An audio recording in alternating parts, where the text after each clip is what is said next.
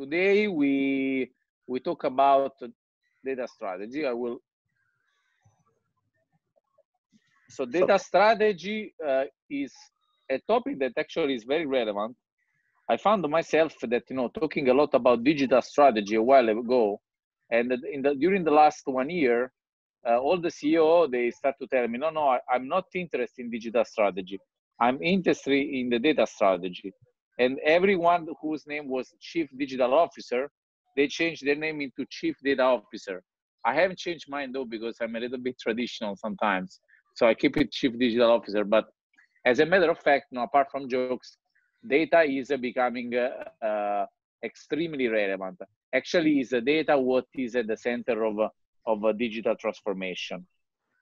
So uh, we had a brief introduction before, but let me again uh, introduce a bit of myself. Um, so I am currently a trainer of AI and intelligent automation for PwC. I have a contract with them, so I train uh, um, other executives on uh, artificial intelligence and in general, whatever is connected to the automation. This is the topic that I'm really passionate about. Uh, I am also a partner of Etisalat. You may know this brand is a, is a UAE company, is a telco, and has operation across uh, Middle East and North Africa. Uh, they also have, I think, operation in Pakistan. They haven't, they, they don't have operation in India because they say that the market is too competitive there. but it is, is, a, is a large organization, and I help them uh, to uh, create and sell a digital solution. You know that now uh, telco market is you know uh, pretty competitive stagnant so operators they find new uh, source of revenue stream. So i'm happy with that. And in 2019 i was also partnering with the forbes in the united states uh, for co-creating a, a, a, product for regeneration using artificial intelligence.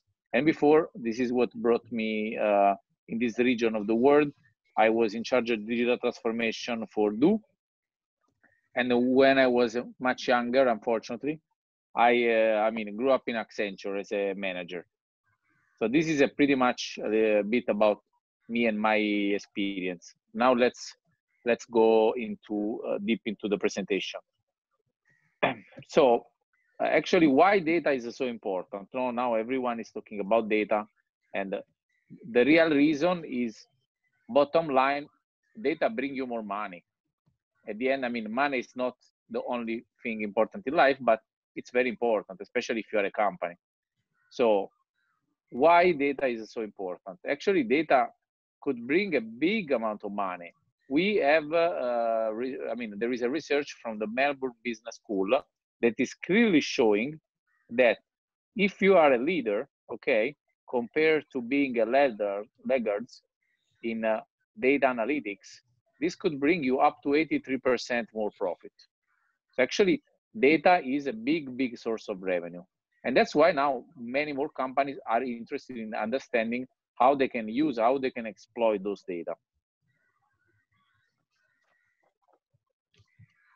So data is, data is very important, but we can see that the reality, at least among my clients, is that data still don't really know how to use it okay so many companies don't know how to use this data and the, the bigger problem is that their employees are really overwhelmed. So when we when we think about data mo- most of the time we all hear the stuff happening you know with the, the employees in the company. I'm not sure i have the right data. You know this data cannot be matched with the other. I bought a tool uh, but now i don't know how to use the analytics. There is really a lot of confusion no around around uh, data. So corporations don't really know how to use it because their, their employees don't know how to use it. So what are the reasons why then uh, the organization has, are really failing at using the data, at creating a data strategy? Based on our understanding, we believe that the real reason are three. So the first reason is that there is a lack of digital culture. So uh, according to PwC, 75% uh, of data initiative they actually fail because of this reason. Lack of digital culture means that, for example, the management think that to have data about their customer is not important, or people don't really know what they could do with this data. So that it's not part of their culture. Uh, the second one, the second reason is of course that there is no strategy. So okay, even if I would have a lot of this data, what do I what do I do with this data? Could I monetize this data? What is the benefit that I get from this data? There is no strategy, so there is confusion. And the third part uh, that is somehow connected with the first part is that there is no skill. So I actually speak myself with a lot of uh, people who uh, they, they are, you know, bit older than me, and they were head of IT. And many of them, they said, okay, one, one day I was head of IT, the next day I was chief digital officer. But as a matter of fact, many of those people don't really understand, don't have those skills. And, and sometimes this happen even with the younger generation. I am a trainer, and I can tell you that even in a, in a country like Dubai, 95% of the marketers don't really know how to use data in marketing. This is really shocking. But this is the reality. So how those organizations with those marketers who don't know how to use data, they could succeed at create a data strategy? It's actually a big problem. But it's not something impossible. So there is a solution on how to create a digital culture, how to develop the strategy, and actually how to foster those skills. And this is what we're gonna see today. So before going into the, uh, the detail of what are the steps that you need to have in place in order to execute the data strategy, let me give you an idea of the kind of project that uh, you can do around data strategy. So these are few of the projects that I have done over the last three years. So some of them, they may be familiar with those guys. I actually have implemented a, a digital assistant for HR for the, their 14,000 employees across 140 different countries. So it's basically a tool that uh, use artificial intelligence to uh, communicate with all the employees and to generate uh, data coming from the employees to understand the uh, feeling of the employee and their emotion, and also to help employee to re retrieve data that are that are normally stored in a silo system, like for example, uh, policies, or for example, other data that are typically stored in the HR system. And other projects, including IBM in New York, with Etisalat, uh, done a data strategy for telecommunication authority of the UAE, data science platform. This is the road and transport authority of the of the UAE. So those are all prominent organizations that testify not only that I actually did those projects, but actually that the great part is that those organizations they are investing a lot of their effort and money into data. So, what is the framework of a data strategy? Yeah, we, we can have 1,000 elements, but at the end, if we want to, you know, keep uh, focus on the main building blocks of a data strategy, a typical framework is based on those four elements. Uh, where we believe that the real tech part, the complex part, this part data ecosystem is only one of the components. If you see there is other three components, which is a talent and skill, and we see that some of you they have actually experience in uh, in uh, in HR, culture and governance. So how we can actually uh, use and process those uh, data, and strategy and leadership. So do you have a strategy in place? Is uh, the leadership of the company uh, uh, ready to execute a data strategy or not? So let's look at these four steps. So how we can actually conduct a data strategy, how we can create. We, we try to keep it simple so that everyone could understand those building blocks. So the first, the first elements, these are the same elements, by the way, of the framework here before. The first element is actually the strategy and leadership. Because when we when we come up with the data strategy, last week I was speaking with the chief digital officer of Coca-Cola here uh, in Dubai.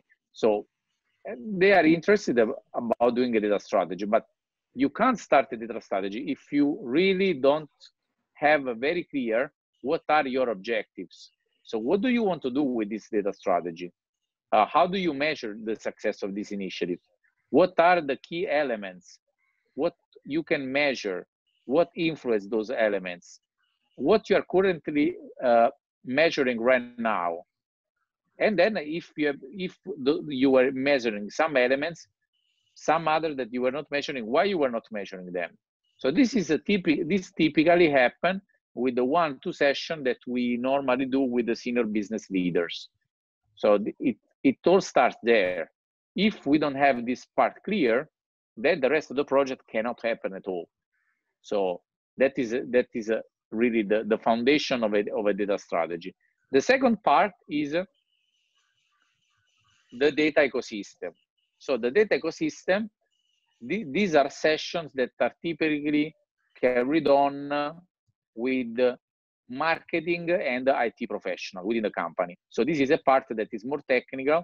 So it's not really with the senior business leader, but it's with operating people.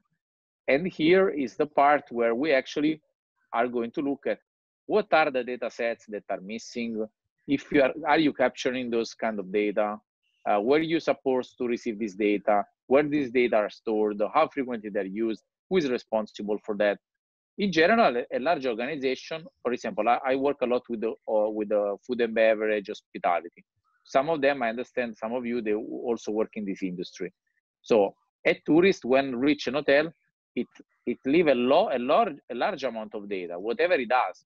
When he called the call center when he when he when he has a problem when he's on the beach and he's ordering something these are all data and they are scattered everywhere within the hotel some of them i think they're even not stored not recorded at all if you record this data you can of course measure a lot of actions for example you can understand that you can understand that i am italian I am not the guy that at 3 p.m. Uh, you know, go somewhere and want to drink a beer at 3 p.m. It's not my thing. I am the person that at 7 p.m. go for aperitivo and have a glass of wine on the beach. But there are other people, other nationalities, other kind of customers who really love to have their their, uh, their beer in the, in the early afternoon. So those amount of data that you could capture could really enable you to uh, to improve your customer experience because then if you if you deliver the wrong message to the wrong guy if you call me and uh, while at 3 p.m while i'm sleeping because i'm italian i do siesta and you call me or you send me a message asking to have a beer i would be annoyed right so all those data they could actually enable uh, an improvement in terms of uh, customer experience so when you have done all this part where you understand the data that you need, what you can do with those data sets, then you are ready for the for the next step. The next step is about culture and governance. So what typically happen? Here I've done an example. So you may have a macro governance of those data. Are you how, who is in charge of those data? Who use them? Who can analyze? Okay, but then it's not only about that. This this is a very high level you have to go deep into the level of details. And these are real, actual uh, processes that I do for capturing and maneuvering data within my company. Uh, so you have to establish all the different uh, processes to capture those data. So for example, you may have one process to capture data when uh, the, let's go back to the hotel. When, the, when a new guest reach the hotel, you may have a, a certain kind of process to capture this data when the person is check-in, right? And then you may have instead other kind of process to, me to measure and to process data that are uh, instead being created in different uh, elements, in different parts of the journey of the guest. So all, the, all those processes together, you know that where some data are generated, who is actually uh, uh, controlling those data, who own this data. So that is all the part about the process. That is very extremely relevant. Otherwise, if you have created the data, the, if you have done the part of the data ecosystem, but you have not processed, you don't have a, a, a process for those data, then these data are not, you, you cannot use it. So who is gonna then consume those data? And then there is the last part, which is about talent and skills.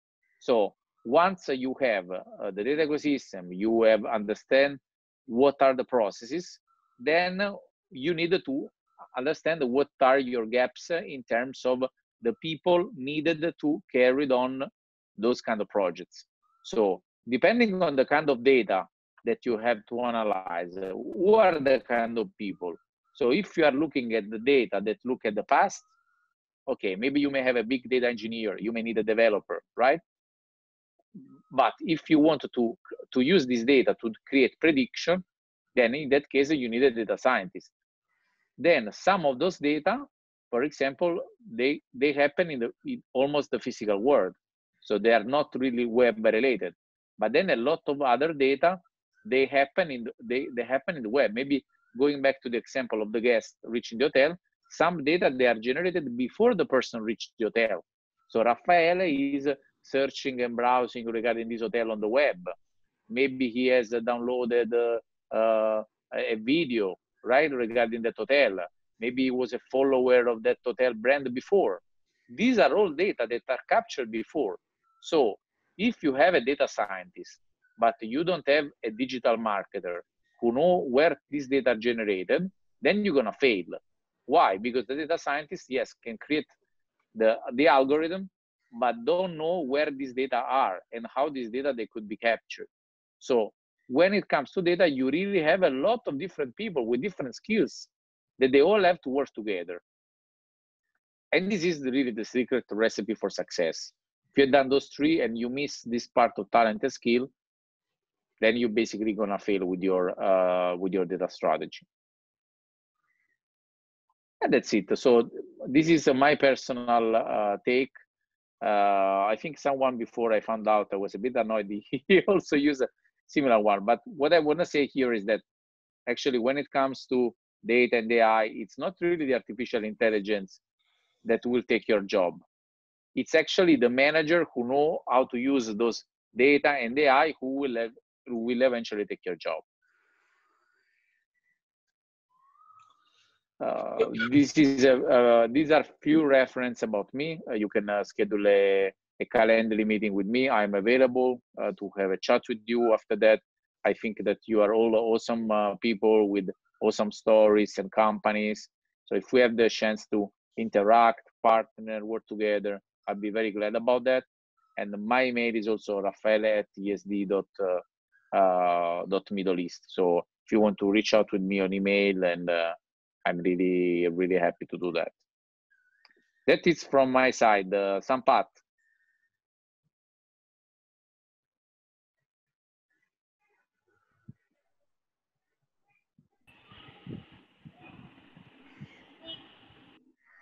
Hello? Sam, mic off. Sam, mic off. Mute. Mic mute. Sam, you're on mute. Abhijit, you had a question, no? I have typed it out. You want me to? Yeah, just read it out. Spell it out. Yeah. Yeah, Ra- uh, Raffaele, I had a question that if you're a technology-driven startup with uh, you know fair amount of automation planned, then what kind of process and system should be adopted to ensure data brings more money? Right from the beginning, what kind of process and system should you adopt for a tech-driven startup? Uh, is, is this a is this a specifically related to a startup? Yes. Okay, this is actually a good question, and I like startups. Uh, I believe that the biggest challenge for a startup, my personal understanding is I also have, uh, beside my consulting business, I also recently launched a startup. I think the the biggest, uh, um, I mean, the most important process at the beginning is visibility. So many, many startup visibility. I've seen a lot of startup with a great product, great people, they do great stuff, but let's be honest, people don't know about it. And startup don't really have thousands of dollars to, uh, you know, have a very expensive digital agency who would come and charge $10,000 every month, big budget on Facebook and whatever it is. So you really have to be extremely, extremely smart to uh, uh, develop strategies that could use data and could do automation. So that that part of data actually it's a lot uh, regarding sales and marketing. I could give you an example. I do I still can I still share my screen? Yes. Yeah. Yes, you can. Can I? Right. So just want to give you an example. This is my little secret. But for example, uh, very recently, I have done a post on LinkedIn. You know, I can show you. Uh,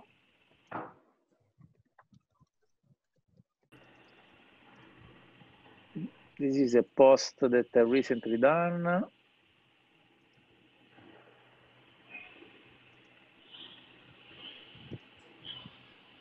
Okay, so this was a post that I done on LinkedIn recently. Yeah, it was one week ago about data strategy because I actually, uh, I mean, do data strategy. So uh, I am communicating what I'm doing. Why you need a strategy? Why you need that, etc., etc. And then what did I do? Is that I'm using a tool. Okay. So first of all, it was quite a good engagement, 10,000 views, 74 comments, etc. I have a tool that helped me, okay, understand who are the people that have eventually, uh, who, have, who are the people that have eventually engaged with this post. So I can search who are those people who have engaged with my post. Okay, actually it's 95 people. So 95 people have engaged with my post. These are all these people.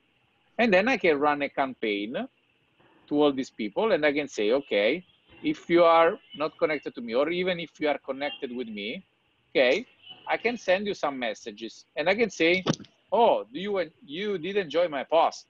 Do you want to have my deck regarding a data strategy? What is your favorite email? I get the email. I use another tool that is taking this information, doing a text parsing, and capturing from this message the email that the LinkedIn user has sent me. So I'm, I'm, I'm actually texting you. I said, do you want it? And you can tell me, and I can show you the example, right? Some people, they said me, they told me, yes. Oh, yes, I want. Yes, please. Oh, this is my email. And then automatically, I take this information through a webhook. I parse, I take the email, and I can generate a lead in my CRM. I put a lead in my CRM, and then from my CRM, I can start a sales sequence of email that I'm sending. Okay. And then after I send all this email, I can see who is reading and who is opening this email. This is all automation. So as a startup, if I if I don't know how to do that, and if I want to employ a team of people doing this, how much this would cost me? Probably I have to employ two, three, two, three employee, right? Control them, see what they do. Sometimes they're lazy, or they don't come, or they don't like, or they're bored, right? So actually, if you can see that even for a small company, for a startup, to have this kind of data and automation in place can really make a difference. What sometimes I notice is that even people who are very technical developers, they completely ignore all this part, all the part of communication, all the part of capturing data, maneuvering data, integrating tools together to create automation in the sales and marketing space. Wow, wonderful! Thank you so much for that insight. You like it? How much? Uh, lovely. Uh, how much would these uh, services cost? Like uh, not much, not much. For example, this is a Hmm. this CRM is called the Freshsales. I think Okay. the founder is Indian, by the way. Oh, uh, as most of the software. And I this is uh, the CRM that I prefer, Freshsales. I've used Zoho in the past. Uh, Mm-hmm. You know, you probably know it's more famous, but I, I think that they really have a, a serious issue with the quality. They grew too bigger with too many things together. It's almost impossible, and a lot of bugs. So this one is fifty dollar per, per per employee.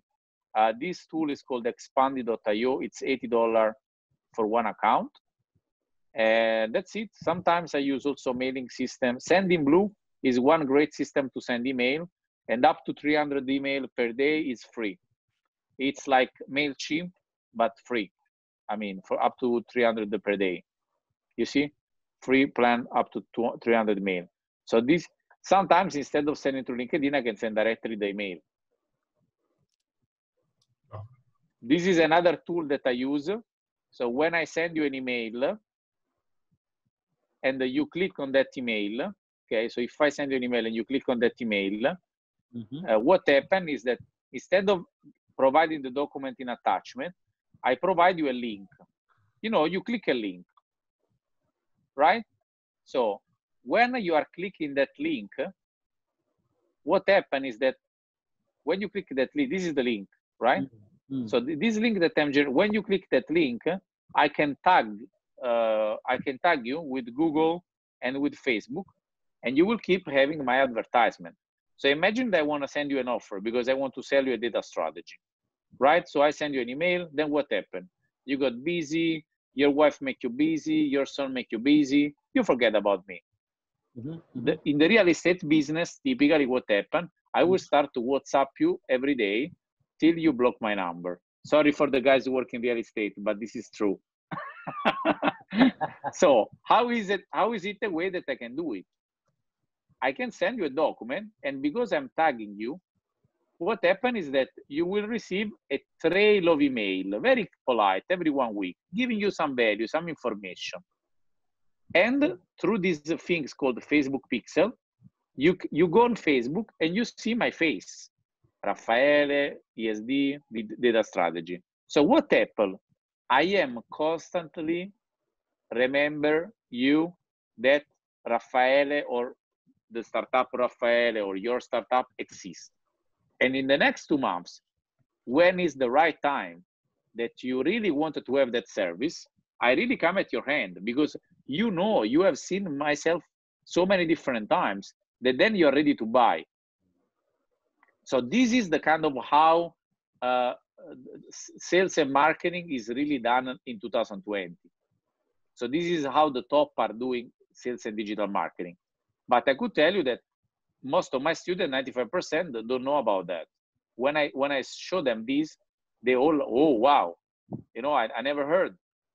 I said, come on, guys, you are in marketing, you are young, you are a kid, you are 25, you should teach me. I'm, I'm 40.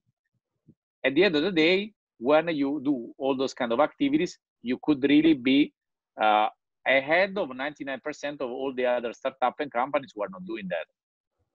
So this is, this is a kind of things that we teach. Excellent. And this is all web analytics, data Mhm. analytics generated on the web. Then once you bring, also. yes, exactly, remarketing, exactly, Facebook. But I can tell you that many many data scientists don't know about that. So this is about generating data from the web, and then once one once this data come in our platform, in our customer data platform, together with other kind of data, maybe coming from other sources, credit card data, other data, then we can develop our beautiful algorithm. But if you don't even know that those kind of possibilities exist on the web, you are missing a big part of data. How you can develop a data strategy if you miss part of the data, right? Great. Thank you. Uh, one second. Now. So we have uh, Vineet has got a question. Vineet.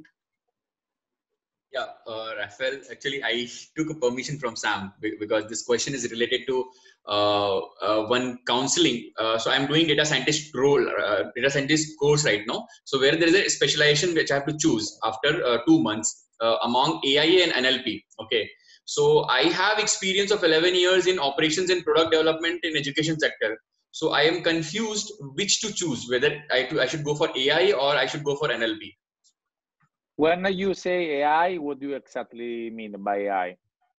AI, whatever I know about AI, it's like uh, uh, uh, not great. Actually, ML I know it's like machine learning itself and uh, doing coding. AI maybe uh, there are few codes uh, which uh, Hmm. uh, take data automatic automatically. Yes, yeah. No, to, to, to be honest, NLP is a very, very uh, narrow category. Uh, you, you, you don't need to be an NLP expert to do a, a project with chatbot. I've done a project with chatbot for the Executive Council of the UAE, uh, for VFS Global all around the world. And trust me, I, I have an understanding of NLP of what I can use it about NLP. So you use IBM Watson, you can use Google, you need to understand the broad concept what is an intent what is an entity you can grasp those concepts already, probably, know, if you're thinking about NLP. But uh, uh, I mean, uh, AI, I mean, having the deep knowledge of how to use machine learning, how to develop neural networks, that would benefit much better. I can tell you that, for example, just to give you an idea, because how old are you, Vinit? 37. 27? 37, 37. 37. 37. So, for example, in RTA, in Dubai, for example, a data scientist sometimes is paid more than a project manager. So sometimes he's paid more than his boss. So a, a job of 10, 12, 15,000 dollars for a data scientist, even of 30 years old, uh, with a six, seven years experience is normal.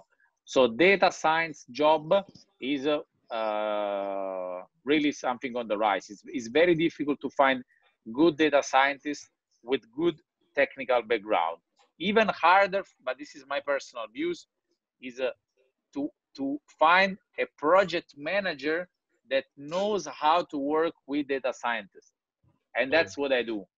Oh, because because uh, I can tell you uh, when we started the project with RTA, there were ten data scientists.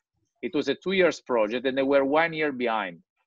Uh, oh. Uh, so it's important to have data scientists, but it's also very important to have most of the skills that the older folks in this uh, in this probably uh, um, webinar have project management skill how to make it happen how to have all these people together no mm-hmm. so that is still very extremely relevant in the business so vinit i'll give you uh, raffaele's contact you can book a calendar he accepts payments mostly in us in dirhams uh, not in dollars uh, uh, raffaele you want uh, what euros or dollars or what do you need anything, even Indian rupee.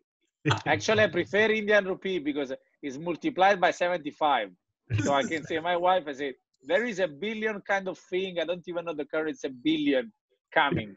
and she thinks that we are very rich. but please allow me How to ask is, this one extension. Okay, that's it. Yes, please, please. So NLP, please, are you saying that it is related to chatbot only? Natural, you're talking about natural language processing, yeah, right? Yeah, yeah, yeah. Yeah, mostly yes. This is where we use it. This actually for two years uh, I was uh, the uh, managing director of a, this startup Querlo. Uh, I, I, you can see my profile. Uh, we actually created a, a, a, graphical workflow to make chatbot. Oh. Um, we, we were one of the first. We started five years ago. Oh, great. great. Uh, but we grew a company to a certain level, but the main problem is that the main investor was already very rich, so he didn't have big appetite to grow more. That's why I left. Vishwajit is from the realist. So uh, Vishwajit has a question. Yes, I don't know how relevant it is. I think many times for new companies or startup, they don't have their own data and they tend to buy data from the market from so-called professional agencies which sell the data. So for example, for example there are certain agencies which will you which will give you the data of customers whom you will send sms or whatsapp messages and try to entice them to i, I am a, i am a much more nasty than that. I one of my startup is uh, uh, an online commerce uh, for uh, for restaurants okay? So i'm actually using this tool uh, is called the web scraper okay uh, that could uh, I show you with a second it should be here I want to show you because it's pretty cool uh, pa, pa, pa, pa. Mm -hmm.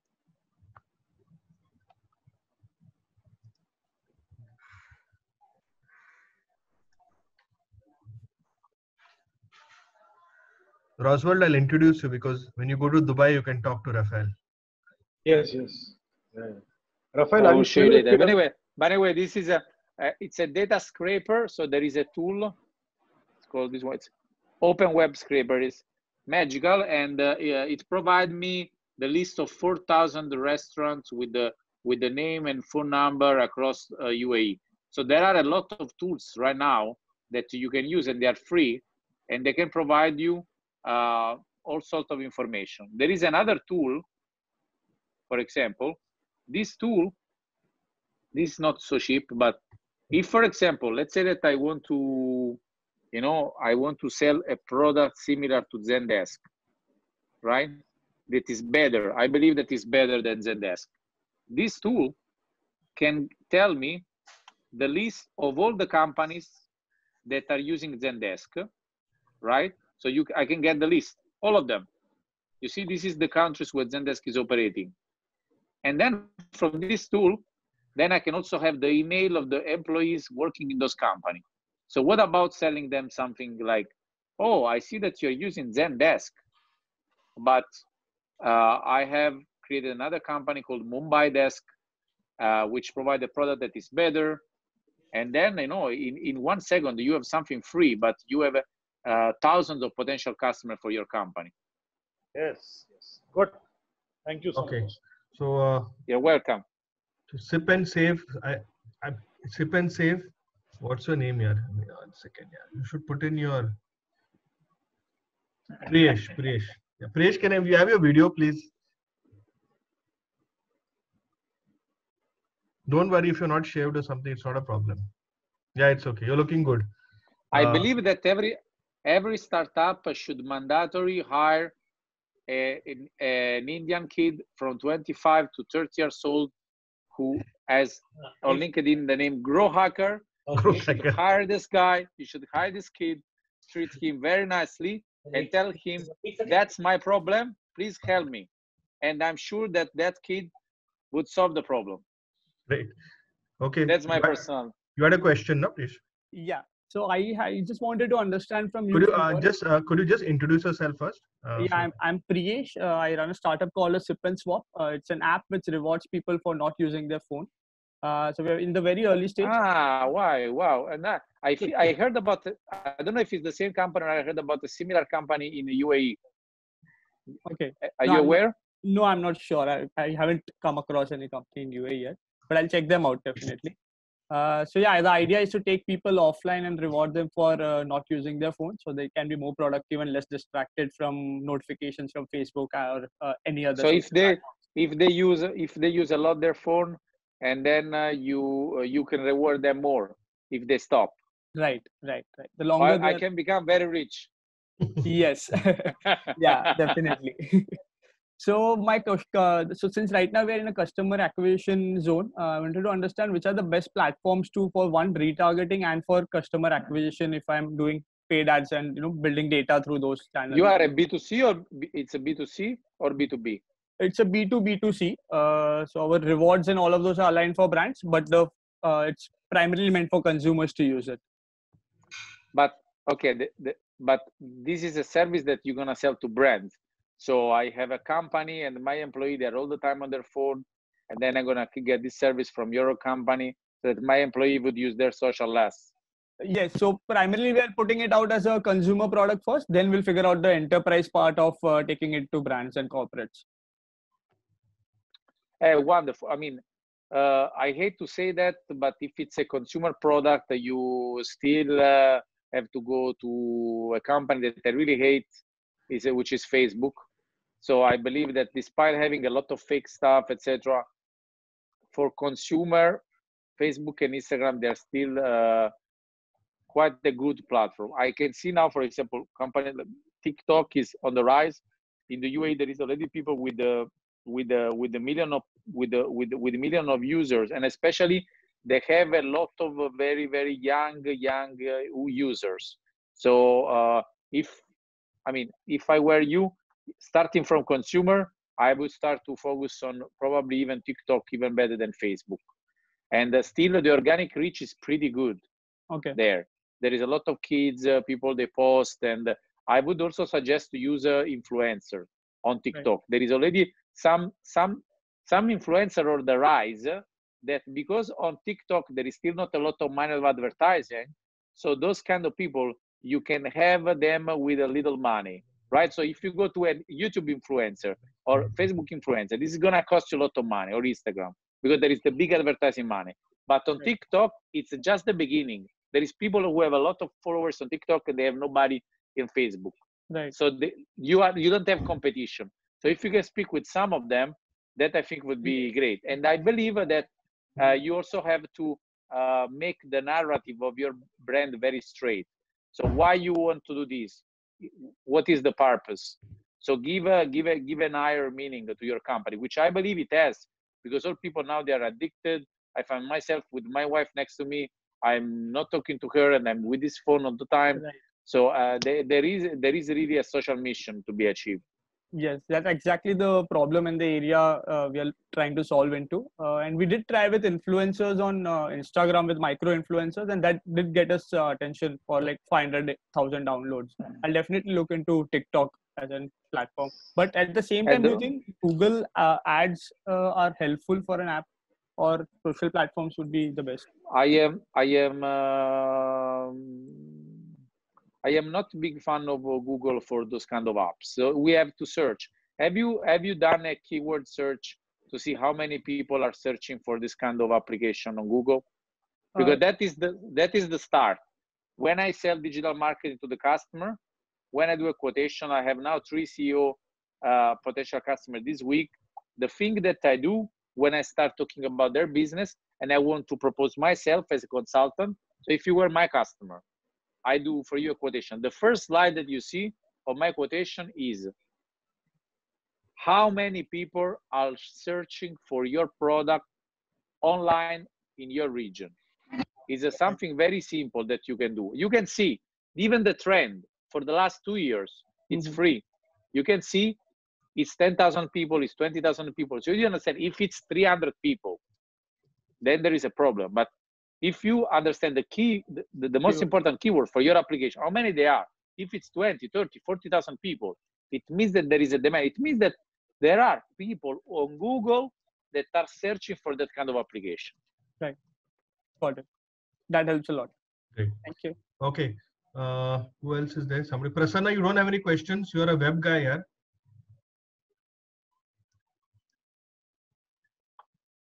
Suhas Marathe, Archan. Okay. Uh, so before Suhas Yeah. was the uh, no, Jitesh was before you. Others he'll use that concrete mixer to run me down. Okay, Jitesh, over to you. Raffaele, it's a like weird question. Then I just wanted to ask, uh, like, say if a person starts from zero, like how much time would he take to uh, get to a data scientist level? Say like I'm a person with assuming my person me, like I'm a person with no IT or computer science background. So you say if I want to start, how much time will it take? Uh, with a with a decent well- grasping power. Obviously, I understand that's a factor. So decent grasping power. I mean, starting from zero IT background, Just keep it here. zero IT and technical background. Yes, zero IT technical ba- background. Ecco, I would say quite some time. Uh, I mean, especially if you're talking about data scientists. Um so actually, data scientist role. Uh, I am a telecommunication engineer. I didn't know that there was something called data scientist when I was telecommunication engineer.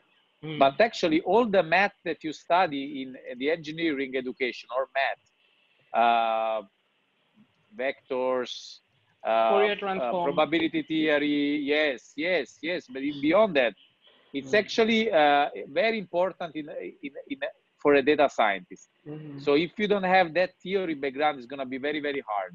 I Mhm. recently, you know, sometimes I see new training, new stuff around data scientists, and it all really comes to the math. So I believe that if you are really extremely motivated, you start from zero. Uh, you need a seriously at least one or two serious area year to have also to have the math right, to understand the math right. I'm a then you can do the mechanical engineer. application. By, by, Hey, by Jitesh, hello, hello, Jitesh, Jitesh, Jitesh. Hmm? We'll go into this uh, animated discussions later. So No, you this can, is- you yeah, can, This you is can- something serious because I'm As uh, a- talking about career Yeah, yeah, so transformation. no, no, you is can- something- Jitesh, yeah. Career, Jitesh, career, I, I can share with you later a link Sure. of a of a training that I found very good, and you Mhm. can do that one. And I think if you already have a, a a- an engineering background, I think that that could really work. So then, of course, the the amount goes to uh, some months, five six months, I would say. Okay. Or maybe I'll shoot a mail to you if you can sharing the purpose. Why Yeah, not? Why not? do Of that, course. Do that. Okay. Uh, we have Harsh Gudka who is there. Harsh, is your video not working or what? I mean,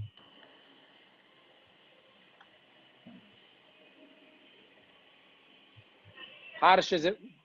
Ah, Yeah. maybe maybe he had a very nice pajama and he don't- didn't want to disclose the pajama with us. yeah. Okay. Hi Harsh, how are you? Hmm? Hi, I'm good. Your mic is off, Harsh. Yeah, I'm good. How are you? I can uh, you can, can come closer to the microphone. Like we can't hear you that much. Hello. Yeah. Yes, now yes. Yeah, yeah, yeah. I'm good. Yeah. Okay. He's good. Suhas had a question. Suhas is a common question or is it uh, something Uh, related? uh, no, no, no, I don't have a question actually. Uh, My questions were answered by uh, few of them who have answered. Okay. Great. Great. Good. Okay. Yeah. Okay, great. Uh, Yeah, Suhas, over to you. Last question before we go into breakout rooms. Yeah, good evening, Raffaele. In all this half an hour or 45 minutes, you have given me a wonderful tip how you pitch yourself to the customers. Thank you for that. Great. Okay. Marishi, last question. Yeah. Uh, Raf, just one thing, you know, uh, you shed a lot on data. Uh, it was pretty helpful. I'm just uh, right now while we were in the session, I just checked Web Scraper. It was something new for us. So I was just going around. So realized the tool is pretty good. So uh, you know, just a question that one tool which uh, you mentioned, you know, the age group of 25 to 30. I am 27.